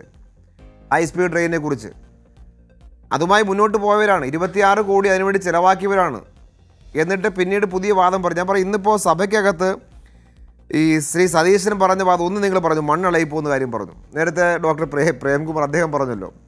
വീതി കുറഞ്ഞാൽ മറന്നു പോകും. ഒരു ഒരു ഒരു പ്രധാന രാഷ്ട്രീയ പാർട്ടി പ്ര- പ്രധാന പ്രതിപക്ഷ പാർട്ടിയുടെ സംസ്ഥാന പ്രസിഡന്റാണ് പറയുന്നത്. എത്രയോ ജനങ്ങൾ കേൾക്കുന്നൊരു ഒരു കാര്യം. യാതൊരു ശാസ്ത്രീയമായ ഒരു അടിത്തറയുമില്ലാതെ വളരെ എന്തൊരു ഒരു ബഫൂണിനെ പോലെ കേരളത്തെ അവതരിക്കുകയാണ്. ഇന്ന് അദ്ദേഹം പറഞ്ഞ അതിനെക്കുറിച്ച് അദ്ദേഹം പറഞ്ഞില്ല. അദ്ദേഹം എൽ ഡി എഫിന്റെ സി പി ഐയിലേക്ക് ചുറ്റിക്കറങ്ങിയിരിക്കുകയാണ് ശ്രീ ശ്രീ ശ്രീകുമാർ. അദ്ദേഹം ഒരു കാര്യം ഞാൻ പറഞ്ഞു നേരത്തെ പറഞ്ഞല്ലോ. ഉപയോഗിക്കുന്ന ടെക്നോളജി കാലഹരണപ്പെട്ടാണെന്ന് പറഞ്ഞു. പ്രതിപക്ഷ നേതാവാണ് പറഞ്ഞത്. ഒരു ഭാഗം ഒരു സമയത്ത് പറഞ്ഞു മണ്ണളയിൽ പോകുന്ന പ്രശ്നം പറഞ്ഞു പിന്നെ ഒരു സമയത്ത് അദ്ദേഹം പറഞ്ഞു അവസാന ഭാഗത്ത് പറഞ്ഞു ടെക്നോളജി നാൽപ്പത് കൊല്ലം മുമ്പൂടാന്നാണ് പറഞ്ഞത്. നാൽപ്പത് കൊല്ലം മുമ്പ്. ഇന്ന് മുന്നൂറ്റി എൺപത് കിലോമീറ്റർ വേഗത്തിൽ ഓടുന്ന ട്രെയിൻ ഉപയോഗിക്കുന്ന അതേ ടെക്നോളജി അല്ലെങ്കിൽ എൺപത് ഇരുന്നൂറ് എല്ലാത്തിലും ഉപയോഗിക്കട്ടെ. ഇന്ന് ഇന്നിപ്പോൾ പ്രസന്റായി ഉപയോഗിക്കുന്ന ടെക്നോളജിയാണ് ഇലക്ട്രിഫിക്കേഷൻ ടെക്നോളജിയാണ് അതിന്റെ മികച്ച രൂപമാണ് ഈ പറഞ്ഞ സെമി ഹൈ സ്പീഡ് ട്രെയിൻ ഉപയോഗിക്കാൻ ഈ ഡി പി ആറിന്റെ ഭാഗമായിട്ട് മുന്നോട്ട് വെച്ചിട്ടുള്ളത്. അതിനെക്കുറിച്ച് ശ്രീ വി ഡി സൈസൻ സഭയിൽ പറഞ്ഞത് സഭാരേഖയാണ്. സഭയിൽ പറയുകയാണ് ഇത് നാൽപ്പത് കൊല്ലം മുമ്പുള്ളതാണ് എന്നാണ്. ഇതിനേക്കാൾ ലേറ്റസ്റ്റായി പുതിയ എന്തെങ്കിലും അദ്ദേഹത്തിന് കൈവശമുണ്ടോ? പിന്നെ പറഞ്ഞ് ഡി പി ആറിന്റെ ഈ പറഞ്ഞ തെറ്റുകുറ്റങ്ങളുണ്ടെന്നാണ്. അതാ ഞാൻ ചോദിച്ചത് അദ്ദേഹം ഉത്തരം പറഞ്ഞില്ല. ഈ പറയപ്പെട്ട ഇനി വാദത്തിന് ഞാൻ സമ്മതിക്കും വാദത്തിന് പറയാം. ഈ ഡി പി ആറിന്റെ ക്ലറിക്കൽ മിസ്റ്റേക്ക് മാറ്റിയാൽ നിങ്ങൾ പദ്ധതി അനുകൂലിക്കുമോ എന്ന് ചോദിച്ചത്. ഉത്തരം പറഞ്ഞിട്ടില്ല. പിന്നെ കേരളത്തിൽ സമരം നടന്നുകൊണ്ടിരിക്കുക അദ്ദേഹം എവിടെയാണ്? പ്രതിപക്ഷം സലാം പ്രതിപക്ഷം ഈ ചർച്ചയിൽ അടക്കം ഈ ചർച്ചയെ പിൻപറ്റി ഇപ്പോൾ ചർച്ചയിൽ ശ്രീകുമാർ പറയുമ്പോഴും പറയുന്നത് കേരളം ആകെ ഒരു വലിയ സമരം നടന്നുകൊണ്ടിരിക്കുന്നു. അതിനെ എങ്ങനെ നേരിടണമെന്ന് നിങ്ങൾക്കറിയില്ല? കേരളമാകെ സമരമില്ല. യു ഡി എഫ് സംഘടിപ്പിക്കപ്പെടുന്ന പിന്നെ ബി ജെ പി ചിലടത്ത് സംഘടിപ്പിക്കപ്പെടുന്ന ഒരു സംഘം ആളുകൾ. അവർ മാത്രമേ നേരത്തെ കഴിഞ്ഞ ദിവസം കണ്ടില്ലേ? ശ്രീ കൊടിക്കുന്ന് സുരേഷ് എം എന്ന് പറയുന്ന ഒരു മാന്യൻ കോൺഗ്രസിന്റെ പ്രധാനപ്പെട്ട നേതാവ് എന്ന് പറഞ്ഞ ഭാഷ കേട്ടില്ലേ കേരളം? എന്താണ് പറഞ്ഞതെന്ന്? കേട്ടാൽ അറയ്ക്കുന്ന പോലെ അങ്ങ് പറയും. ഒരു ഒരു എം ആണ് പറയുന്നത് കേരളത്തോട്. അങ്ങനെ ഒരു ഒരു സംഘമല്ലാതെ യു ഡി എഫിന്റെ ഭാഗമായി നിങ്ങളുടെ വോട്ട് നിങ്ങൾക്ക് വോട്ട് രേഖപ്പെടുത്തുന്ന ഒരു വലിയ മാസിനെ നിങ്ങൾക്കിത് ബോധ്യപ്പെടുത്താൻ പറ്റിയിട്ടുണ്ടോ? നമ്മളിന്ന് ചിന്തിക്കുന്ന പോലെ ഭാവിയെ ഭാവിയെക്കുറിച്ച് നല്ലപോലെ ചിന്തിക്കുന്ന മനുഷ്യരാണ് ഉള്ളത്. ഇപ്പോൾ യുക്രൈനിലെ യുദ്ധമുണ്ടായ സമയം വന്നു. ആയിരം എത്ര കുട്ടികളാണ് പോയി പഠിക്കുന്നത്? ഇപ്പോൾ എന്റെ മണ്ഡലം മാത്രം ഞാൻ പറയാം. പിന്നെ ഇരുപത് കുട്ടികളുണ്ട്. ഇരുപത് കുട്ടികൾ യുക്രൈനിൽ ഈ ഈ പ്രശ്നമുള്ള സിറ്റിയിൽ പഠിക്കും ബംഗറിൽ ജീവിച്ചവരാണ്. അവർ മടങ്ങിയെത്തി കുറേ അധികം പേർ. ആ ഒറ്റ കോളേജിൽ മാത്രം നാനൂറ് മലയാളി കുട്ടികൾ പഠിക്കുന്നു എം ബി ബി എസിന്. അവിടെ ഇന്ത്യൻസ് ആയിരത്തി ഇരുന്നൂറ് പേർ പഠിക്കുന്നു. നമ്മുടെ പുതിയ തലമുറ നമ്മൾ കാണുന്നതിനപ്പുറമാണ്. അത്രമാത്രം എത്ര ദൂരെയും പോയി പഠിക്കാൻ തയ്യാറാണ്. ഏത് പ്രതിബന്ധമുള്ളിടത്തും പോയി പഠിക്കാൻ തയ്യാറാണ്. അങ്ങനെ വളർന്ന് വികസിച്ച് വരുന്ന തലമുറയോട് ഈ നാട് നീതി കാണിക്കണം. ഇന്നത്തേക്ക് അതുകൊണ്ടാണ് ഞങ്ങൾ പറയും ഇന്നത്തേക്ക് മാത്രം വേണ്ടിയുള്ള പദ്ധതിയല്ല എന്ന് ഞാൻ പറയുന്നത് അതുകൊണ്ടാണ്. അതിൽ വാഹന സാന്ദ്രത പ്രശ്നമാണ്. നമ്മുടെ ജനസാന്ദ്രത പോലെ തന്നെ വാഹന സാന്ദ്രത വളരെ പ്രധാനപ്പെട്ട പോയിന്റാണ് ഇപ്പോൾ ആയിരം പേർക്ക് നാനൂറ്റി നാൽപ്പത്തഞ്ച് വാഹനമുണ്ട് കേരളത്തിൽ. അതാ വാഹന സാന്ദ്രത കേരളത്തിന്റെ സാന്ദ്രത. ദേശീയ അടിസ്ഥാനത്തിലോ ആയിരത്തിന് പതിനെട്ട്. ചൈനയിൽ ആയിരത്തി നാൽപ്പത്തേഴ് അമേരിക്കയിലാണ് നമ്മളെയൊക്കെ കൂടുതൽ ആയിരത്തിന് ആയിരത്തിന് അഞ്ഞൂറ്റി ഏഴ് അപ്പോൾ ഇത്രയും വാഹന സാന്ദ്രതയുള്ള സംസ്ഥാനത്ത് ഇപ്പോൾ സ്ഥലമെടുത്ത് ദേശീയവാദം വികസിപ്പിക്കുകയാണ്. വീണ്ടും സ്ഥലമെടുത്ത് വീണ്ടും വികസിപ്പിക്കാൻ പറ്റുമോ പിന്നെ നമുക്ക് ചെയ്യാൻ പറ്റുന്ന മാർഗം വാഹനത്തിന്റെ അളവ് കുറയ്ക്കാൻ എന്താണ് പുതിയ സ്കീമെന്നാണ്. അപ്പോൾ റോഡിലെ വാഹന അളവ് കുറയ്ക്കാനുള്ള പ്രധാനപ്പെട്ട സ്കീമാണ്. അതിന്റെ ഭാഗം പാരിസ്ഥിതികമായ ഒരു ഒരു ഒരു സൗകര്യം കൂടി എല്ലാം വരും. കാർബൺ പുറത്തേക്ക് തള്ളുന്നതെല്ലാം കുറയും. അപ്പം അങ്ങനെ ഒരു ഒരു നമ്മുടെ ഒരു കാലം മുന്നോട്ട് പോകുന്നതനുസരിച്ച് നമ്മൾ തൊള്ളായിരത്തി അറുപത്തിനാലിലാണ് ജപ്പാനിൽ ബുള്ളറ്റ് ട്രെയിൻ ഓടിയത്. എത്ര കൊല്ലം മുമ്പാണെന്ന് ആലോചിക്കണം. നമ്മളിപ്പോൾ ചിന്തിക്കുന്നത് ഇരുന്നൂറ് മീറ്റർ കിലോമീറ്റർ സ്പീഡിൽ വേ ട്രെയിൻ ഓടാൻ അഞ്ച് കൊല്ലം കഴിയുമ്പോൾ ട്രെയിൻ ഓടിക്കാൻ പറ്റുമോ എന്ന് ഇന്ന് ആലോചിക്കുന്നേ ഉള്ളൂ കേരളം. എത്ര പിറകിലാണ് നമ്മൾ ആലോചിക്കണം. അതുകൊണ്ട് ഈ കേരളീയ സമൂഹത്തെ ലോകോത്തരമായ നിലയിലേക്ക് വളർത്തിയെടുക്കാൻ വേണ്ടിയുള്ള കൃത്യമായ പദ്ധതിയുടെ പദ്ധതിയുടെ ഭാഗമായിട്ടാണ് ഈ പ്രൊജക്ട്. അത് ജോയിന്റ് വെഞ്ചറാണ്. ഇന്ത്യൻ റെയിൽവേയും കേരളവും തമ്മിൽ ചേരുന്ന പ്രധാനപ്പെട്ട പ്രൊജക്റ്റാണിത്. മാത്രവുമല്ല കഴിഞ്ഞ ലോക്സഭയിലൊക്കെ ഇതുമായി ബന്ധപ്പെട്ട് യു ഡി എഫ് അംഗങ്ങൾ തന്നെ ചോദിച്ചപ്പോഴും വന്ന വിവരങ്ങൾ ഇപ്പോൾ അന്തിമ അനുമതി എന്നുള്ളതിന് അനുസരിച്ച് അത് വരാനിരിക്കുന്നതേ ഉള്ളൂ. ഇൻ പ്രിൻസിപ്പൽ എഗ്രിമെന്റ് പോലും യഥാർത്ഥത്തിൽ അനുമതി പോലും ഒട്ടേറെ കാര്യങ്ങൾ ചെയ്യുന്നതിനും മുന്നോട്ട് പോകുന്നതിനും ഈ പദ്ധതിക്ക് കൊടുക്കുന്ന ഒരു അംഗീകാരമാണ്. അപ്പോൾ ആ യാഥാർത്ഥ്യങ്ങളെ മനസ്സിലാക്കിക്കൊണ്ടുകൂടിയാണോ പ്രതിപക്ഷം ഈ വിഷയത്തെ സഭയിൽ സമീപിച്ചത് എന്നൊരു പ്രശ്നമുണ്ട്. ഞാൻ ഡോക്ടർ പ്രേംകുമാറിലേക്കും അതുപോലെ ശ്രീ ശ്രീകുമാറിലേക്കും വരാം. താങ്കൾ അല്പം നേരത്തെ ചർച്ചയിൽ നിന്ന് പോകും എന്ന് അറിയിച്ചിരുന്നു ശ്രീ ശ്രീകുമാർ ഞാൻ താങ്കളിലേക്ക് വരാം. ഒരു ഒരു ചെറിയ റിയാക്ഷൻ കൂടി വേണ്ടതുണ്ട്. ഒരു ചെറിയ ഇടവേളയ്ക്ക് ശേഷം. ഞാൻ അടുത്തതായി ഡോക്ടർ പ്രേംകുമാറിലേക്കാണ് വരേണ്ടത്. താങ്കളുടെ അനുമതിയോടുകൂടി ഞാനൊന്ന് ശ്രീകുമാറിലേക്ക് പോവുകയാണ്. അദ്ദേഹം ഇത്തിരി നേരത്തെ ഒന്ന് ചർച്ചയിൽ നിന്ന് പോകാൻ അനുവദിക്കണം എന്ന് പറഞ്ഞതുകൊണ്ട് അതിനുശേഷം താങ്കളിലേക്ക് വരാം. ശ്രീ എൻ ശ്രീകുമാർ താങ്കളിലേക്ക് വരുന്നതിന് മുമ്പ് ഒരു ചെറിയ ഒരു വീഡിയോ ഒന്ന് കണ്ടുകൊണ്ട് ഞാൻ താങ്കളിലേക്ക് വരാം. വളരെ ചെറിയ സെക്കൻഡ്സ് മാത്രം. വികസന പ്രവർത്തനങ്ങൾക്ക് കുതിപ്പേകാൻ ആധുനിക റെയിലും അതിവേഗ ട്രെയിനുമായി യു ഡി എഫ് സർക്കാർ രണ്ടാം വയസ്സിലേക്ക്. ഇന്ത്യയിലാദ്യമായി അതിവേഗ ബുള്ളറ്റ് ട്രെയിൻ കേരളത്തിൽ. തിരുവനന്തപുരത്തും കോഴിക്കോടും മോണോ റെയിൽ പദ്ധതി. കൊച്ചി ശ്രീ ശ്രീകുമാർ ഇത് മാത്രം പോരെ. ഭരണത്തിലിരിക്കുമ്പോൾ ഇതിനോടൊക്കെ എന്തായിരുന്നു യു ഡി എഫിന്റെ സമീപനം എന്ന് മനസ്സിലാക്കാൻ? അപ്പോൾ ഇന്ന് ഈ സഭയിൽ ഈ കാണിച്ചതൊക്കെ അഭിപ്രായപ്പെട്ട ആശങ്കയൊക്കെ വെറും രാഷ്ട്രീയമാണ് എന്ന ആളുകൾക്ക് അതിവേഗം മനസ്സിലാവില്ലേ? പോട്ടെ. ഇന്ന് പ്രതിപക്ഷ നേതാവ് രണ്ടായിരത്തി പതിമൂന്നിലെ യു പി എ സർക്കാരിന്റെ കാലത്തെ ഏറ്റവും മികച്ച കോമ്പൻസേഷൻ ആക്ടിനെ കുറിച്ചൊക്കെ പറയുന്നുണ്ടായിരുന്നല്ലോ. ഈ രണ്ടായിരത്തി പതിമൂന്നിന് ശേഷം ശ്രീ ഉമ്മൻചാണ്ടി കേരളം രണ്ടായിരത്തി പതിനാറ് വരെ ഭരിച്ചില്ലേ? അങ്ങനെയാണെങ്കിൽ അദ്ദേഹത്തിന് ആ കോമ്പൻസേഷൻ വാങ്ങിച്ചു കൊടുത്ത് ഗെയിൽ പദ്ധതിയും കൂടങ്ങളും പൂർത്തിയാക്കാമായിരുന്നില്ലേ? അദ്ദേഹത്തിന്റെ തന്നെ പുതുപ്പള്ളി മണ്ഡലത്തിലെ തർക്കങ്ങളും എതിർപ്പുകളും ഈ റബ്ബർ മരം വെട്ടുന്നതിലെ എതിർപ്പുമൊക്കെ അദ്ദേഹത്തിന് നല്ല കോമ്പൻസേഷൻ വാങ്ങിക്കൊടുത്ത് അവസാനിപ്പിച്ച് പദ്ധതി പൂർത്തിയാക്കാൻ ഒരു പരിധിവരെയെങ്കിലും പോകാമായിരുന്നില്ലേ?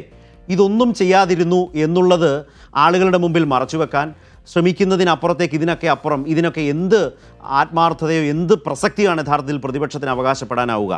മറ്റൊരു കാര്യമുണ്ട് ആ ജനങ്ങളെ ബോധ്യപ്പെടുത്തി കൂടംകുളവും ഗെയിലുമൊക്കെ പിണറായി വിജയന്റെ സർക്കാർ നടപ്പാക്കി ഉമ്മൻചാണ്ടിയുടെ സർക്കാരിന് അത് കഴിഞ്ഞില്ല. ഇത് ആളുകളുടെ മുമ്പിൽ പകൽ പോലെ വ്യക്തമായി നിൽക്കുന്നതല്ലേ? വ്യക്തമായ തെളിവുകളും വിവരങ്ങളും നമ്മുടെ മുമ്പിൽ നിൽക്കുകയല്ലേ?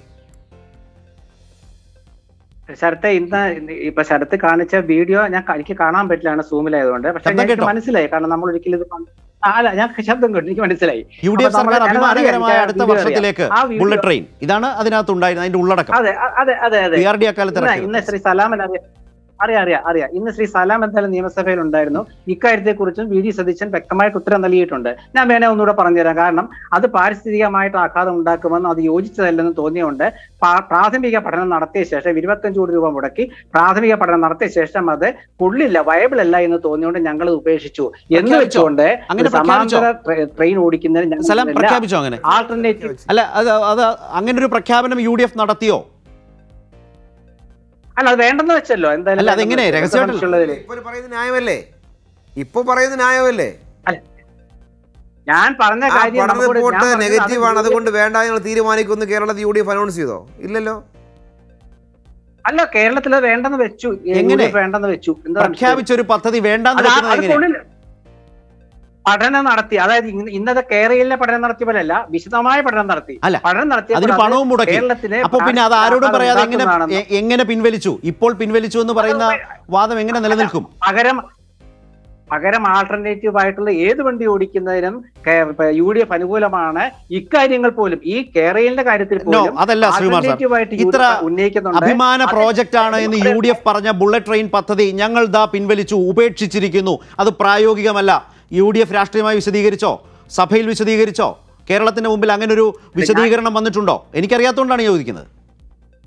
ശരത്തെ ശരത്തും ഞാനും മാധ്യമപ്രവർത്തകനാണ്. ഉപേക്ഷിച്ചതെന്ന് യു ഡി എഫ് പറഞ്ഞത് കേട്ട് ഞാനും പറയുന്നു. ഞാൻ യു ഡി എഫിന്റെ അനുഭാവി ഒരു ഒരു കൺവീനർ ആയിരുന്നു ഞാൻ അതിന്റെ ഉത്തരം പറയാമായിരുന്നു ഞാൻ മാധ്യമപ്രവർത്തകനാണ്. യു ഡി എഫ് അത് ഉപേക്ഷിച്ചു എന്നാണ് അവർ പറഞ്ഞിട്ടുള്ളത്. ആ അറിവ്. അത് കൂടുതൽ തർക്കിച്ചാൽ എനിക്ക് ഉത്തരം പറയാനില്ല. കാരണം അത് അത് അത് യു ഡി എഫ് തീരുമാനിച്ചതാണ് അതില്ല ആ എങ്ങനെ? ബൈബിൾ അല്ലാത്തതുകൊണ്ട് അത് അവർ വേണ്ടെന്ന് വെച്ചു. താങ്കൾ ഇത് സൈലന്റ് സൈലന്റ് ഒബ്സർവർ ആവണ്ട. താങ്കൾക്ക് എന്താണ്? എനിക്ക് മനസ്സിലായിട്ടില്ല. ഇന്ന് പ്രതിപക്ഷ നേതാവ് പക്ഷേ സഭയിൽ ഉമ്മൻചാണ്ടിക്കും പി കെ കുഞ്ഞാലിക്കുട്ടിക്കും ഒക്കെ അഭിനന്ദനം വരെ പറയുന്നതും കേട്ടു. അറിയാമെങ്കിൽ എങ്ങനെ ജോയിൻ ചെയ്യും ഈ ഈ തർക്കത്തിൽ? അല്ല ശരത് അതായത് ഇത് നടപ്പിലാക്കണം തീരുമാനിച്ച കേരള ഗവൺമെന്റ് ആണ് മുപ്പത്തിനാല് കോടി രൂപ ഡി എം ആർ സിക്ക് കൊടുത്തത് കേരള ഗവൺമെന്റ് ആണ് യു ഡി എഫ് അല്ല. കേരള ഗവൺമെന്റ് നടത്തിയ ഒരു പഠനം പ്രഖ്യാപിച്ച ഒരു പദ്ധതി വേണ്ട എന്നാണെങ്കിൽ സർക്കാരാണ് പ്രഖ്യാപിക്കേണ്ടത്. ഈ പൈസ എങ്ങനെ വകയിരുത്തണം സർക്കാരാണ് തീരുമാനിക്കേണ്ടത്. യു ഡി എഫ് തീരുമാനിച്ചിട്ടുണ്ടെന്ന് ശ്രീകുമാറിന് അറിയാന്ന് പറഞ്ഞാൽ പോരാ. ഇന്നത്തെ ഡേറ്റ് വരെ തീയതി വരെ ആ പദ്ധതി വേണ്ട എന്ന് ഔദ്യോഗികമായി കേരള സർക്കാർ ഒരു ഒരു നിമിഷം ഒരു നിമിഷം. അക്കാലത്ത് അക്കാലത്ത് മുഖ്യമന്ത്രി ഉമ്മൻചാണ്ടിയുടെ ഉമ്മൻചാണ്ടിയുടെ വാർത്താ സമ്മേളനത്തിന്റെ ഒരു ദൃശ്യങ്ങൾ കൂടി ഒന്ന് കണ്ടുവരാം. ഏതായാലും ഈ തർക്കം ഇത്ര ആയതുകൊണ്ടാണ്. ഒരു നിമിഷം ഒരു നിമിഷം. Kerala state Industry Development corporation limited will be the nodal agency to develop and implement the project. An amount of rupees 20 crores set apart Yes. as the budget to മതി മതി. സമയമില്ലാത്തതുകൊണ്ടാണ് ഒരുപാട് കാര്യങ്ങൾ അതിനകത്തുണ്ട് അത് പിന്നീട് അടുത്തൊരു ചർച്ചയിലാകാം. ശ്രീ പ്രേംകുമാർ ഇരുപത് കോടി അതിനുവേണ്ടി മാറ്റിവെച്ചതിനെക്കുറിച്ച് മുഖ്യമന്ത്രിയായിരിക്കെ ശ്രീ ഉമ്മൻചാണ്ടി വാർത്താ സമ്മേളനത്തിൽ പറഞ്ഞ കാര്യമാണ്. സർക്കാർ പണം വിനിയോഗിച്ചു. അപ്പോൾ ആ പദ്ധതി താങ്കൾ പറഞ്ഞ പോലെ പിൻവലിക്കേണ്ടത് ആര് എങ്ങനെ? അതൊരു അടിയന്തര പ്രമേയ ചർച്ചയിൽ പിന്നീട് വരുന്ന പ്രതിപക്ഷ നേതാവ് പറയേണ്ട കാര്യമാണോ? അല്ല അത് മാത്രമല്ല സാർ ഇരുപത് കോടിയല്ല ഡി എം ആർ സി. ഇത് തുടക്കത്തിലുള്ളതാണ്. 2012 മുപ്പത്തിനാല് കോടി രൂപയാണ് കൊടുത്തിട്ടുള്ളത്. ജലീൽ ഇന്ന് പറഞ്ഞതല്ലേ? അൻപത് അൻപത് കോടി മാറ്റി വെച്ച്. ഇരുപത്തി ആറ് കോടി ചിലവാക്കിയത്. ഓക്കെ. ഇത് തുടക്കത്തിൽ ഇത് തുടക്കത്തിൽ അമ്പത് കോടി. പോകുന്നതിന് മുമ്പ്. ഇല്ല അതേ പോയി. പറഞ്ഞോളൂ ശ്രീ പ്രേംകുമാർ പൂർത്തിയായിക്കോളൂ. ഇനി ഇതിൽ ഒരു ചോദ്യം ശ്രീകുമാർ ചർച്ചയിൽ നിന്ന് പോയിട്ടുണ്ട്. പക്ഷേ മറുപടി പറയുന്നത്. യെസ് തീർച്ചയായും. എന്ന് വെച്ചാൽ ശാസ്ത്ര സാഹിത്യ പരിഷത്ത് പറയുന്നത് വിവരക്കേടാണോ എന്നാണ്. ശാസ്ത്ര സാഹിത്യ പരിഷത്താണ് എന്നുള്ളത് കൊണ്ട് പറയുന്നതെല്ലാം സത്യമായിക്കൊള്ളണമെന്നില്ലല്ലോ അങ്ങനെ ഒരു നിലപാടും ആളുകൾക്കില്ല. സിൽവർ ലൈനുമായിട്ട് ബന്ധപ്പെട്ട് ശാസ്ത്ര സാഹിത്യ പരിഷത്ത് പറഞ്ഞ രണ്ട് കാര്യങ്ങൾ മഹാബദ്ധമാണ്. ഒന്നെന്താണെന്ന് വെച്ചാൽ അവർ പറയുന്നത് ഇന്ത്യയിൽ മൊത്തത്തിലുള്ള റെയിൽവേ ട്രാക്കുകളിൽ തൊണ്ണൂറ്റെട്ട് ശതമാനം ബ്രോഡ് ഗേജ് ആണ്. അതുകൊണ്ട് സിൽവർ ലൈനും ബ്രോഡ് ഗേജ് ആയിരിക്കണം. ഇത് ശുദ്ധ വിട്ടിത്തമാണ് എന്തുകൊണ്ടെന്ന് വെച്ചാൽ ഇന്ത്യയിൽ ഇപ്പോൾ ഉള്ള വാഹനങ്ങളിൽ തൊണ്ണൂറ്റെട്ട് ശതമാനവും പെട്രോൾ ഡീസൽ വാഹനങ്ങളാണ്. അതുകൊണ്ട് ഈ പെട്രോൾ പമ്പും ഡീസൽ പമ്പുമാണ് തുടങ്ങേണ്ടത് എന്ന് പറയുന്നത് പോലുള്ള വിട്ടിത്തമാണിത് നിലവിൽ ആളുകൾ ഉപയോഗിക്കുന്ന മൊബൈൽ ഫോണുകളിൽ തൊണ്ണൂറ് ശതമാനവും three G four G mobile ഫോണുകളാണ്. അതുകൊണ്ട് ഇനി ഉണ്ടാക്കേണ്ടത് three G four G mobile phone ആണെന്നുള്ളത് തെറ്റാണ്. ഇനി ഉണ്ടാക്കേണ്ടത് ഫൈവ് ജി മൊബൈൽ ഫോൺ ആണ് അതുപോലെ ശാസ്ത്ര സാഹിത്യ പരിഷത്ത് മുന്നോട്ട് വെച്ച ഒരു വിട്ടിത്തമാണ് അത്.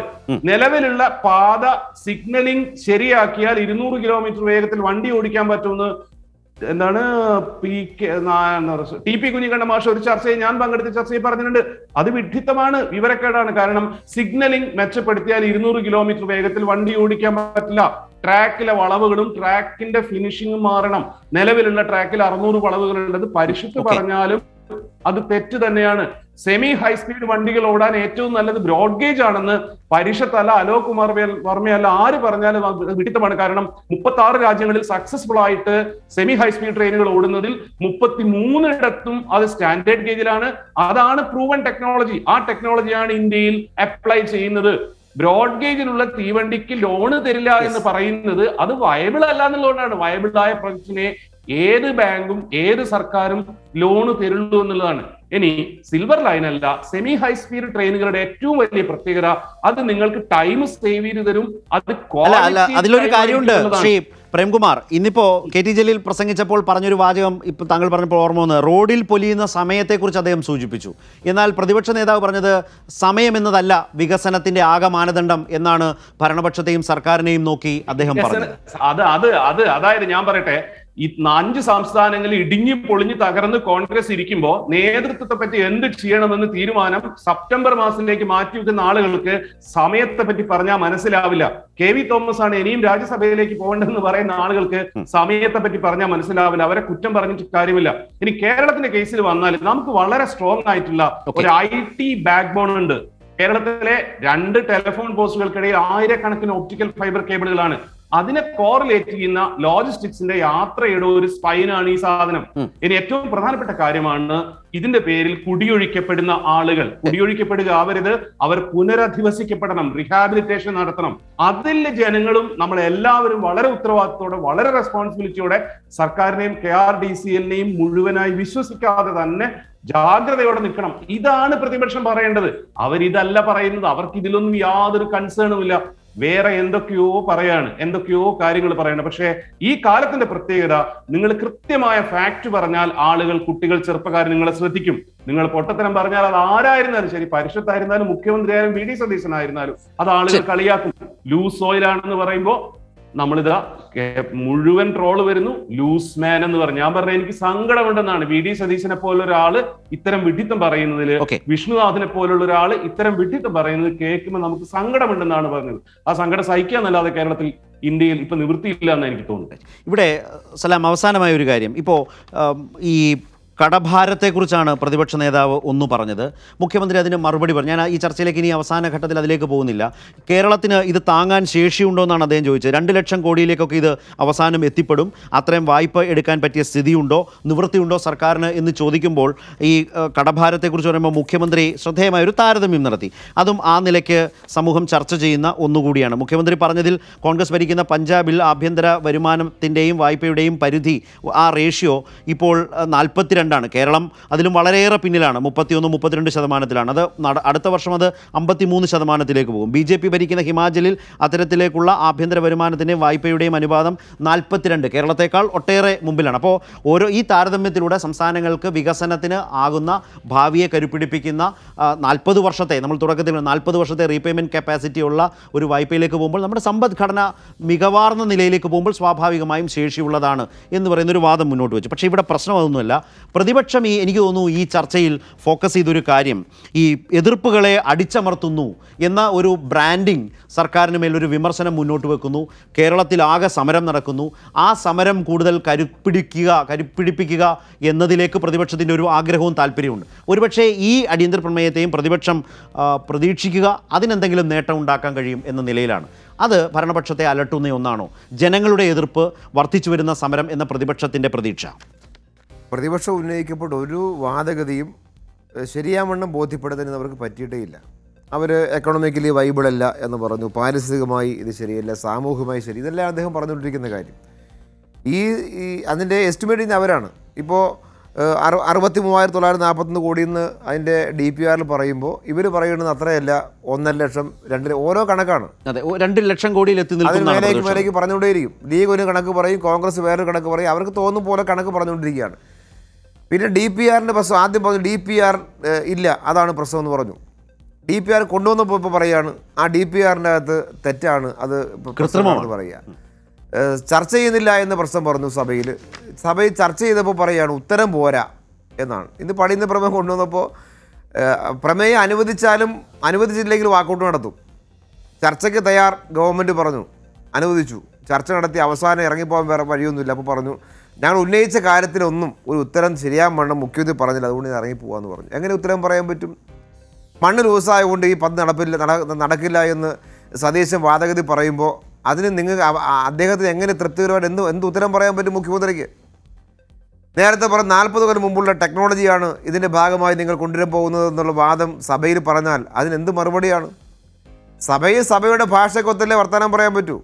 ജനാധിപത്യപരമായി ഉന്നയിക്കപ്പെടുന്ന കാര്യം കഴമ്പില്ലാത്ത ഇതുപോലെയുള്ള നേരത്തെ ശ്രീ പ്രേംകുമാർ പറഞ്ഞ പോലെയുള്ള വെറും ബഫൂണിനെ പോലെ ഉള്ള വർത്തമാനങ്ങൾ ഇങ്ങനെ പറഞ്ഞുകൊണ്ടേയിരിക്കുന്ന ആളുകൾക്ക് മുന്നിൽ മുൻപിൽ ഏത് ഉത്തരം പറഞ്ഞാലും ബോധ്യമാവില്ല കേരളത്തിലെ പ്രതിപക്ഷത്തിന് എന്നുള്ളത് യാഥാർത്ഥ്യം. അത് ഈ ഒരു പദ്ധതിക്ക് മാത്രമല്ല.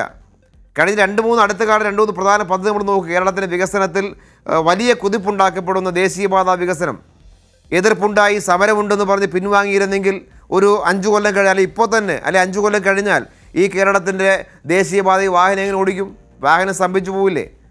ഗെയിൽ പൈപ്പ് ലൈന്റെ ഭാഗത്ത് സന്ദർഭത്തിൽ സമരം ഉയർന്നു വന്നു. ആ സമരം വന്ന ഘട്ടത്തിൽ എന്നാൽ പിന്നെ പിൻവാങ്ങാം? കുറേ സമരമല്ലേ എതിർപ്പല്ലേ എന്ന് തീരുമാനിച്ചിരുന്നെങ്കിൽ അതുണ്ടാകുമോ? വൈദ്യുത ഇടനാഴിയുമായി ബന്ധപ്പെട്ട പ്രശ്നം അത് അത് കടത്തിക്കൊണ്ടുവരുമ്പോൾ അവിടെ സമരം വന്നു. എന്നാൽ പിന്നെ വേണ്ട തീരുമാനിച്ചാൽ ഇന്നുള്ള അത്രയും പവർ നമുക്കുണ്ടാകുമായിരുന്നോ? അതുകൊണ്ട് കേരളത്തെ സ്ഥായിയായി മുന്നോട്ട് കൊണ്ടുപോകാൻ ഭാവി വികസനത്തിന് ഉതകപ്പെടുന്ന പ്രധാനപ്പെട്ട പദ്ധതി മുന്നോട്ട് വെക്കപ്പെടുമ്പോൾ അതിനെ ബോധപൂർവമായി തുരങ്കമുണ്ടാക്കി തുരങ്കം വയ്ക്കാൻ എതിർപ്പുണ്ടാക്കി കടന്നു വരുന്ന ഘട്ടത്തിൽ പിൻവാങ്ങാൻ പാടില്ല കേരളം. പിൻവാങ്ങിയാൽ കേരളം പിറകോട്ട് സഞ്ചരിക്കും.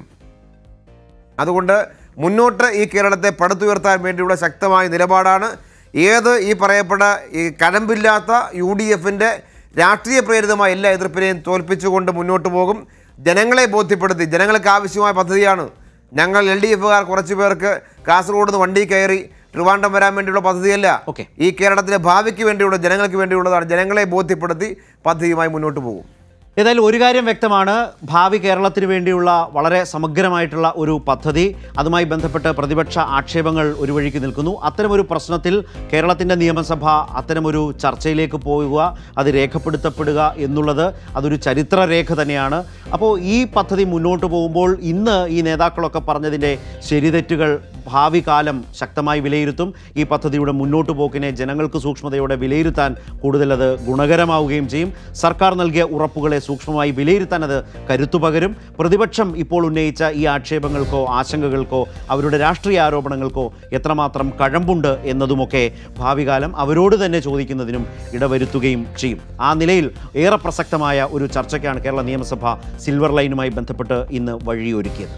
ചർച്ചയിൽ പങ്കെടുത്ത എല്ലാവർക്കും ഈ ചർച്ചയിൽ പങ്കെടുത്ത എല്ലാവർക്കും പ്രത്യേകം നന്ദി പറഞ്ഞുകൊണ്ട് ഒരു ഇടവേളയിലേക്ക് ഇടവേളയ്ക്ക് ശേഷം നയൻ പി എം.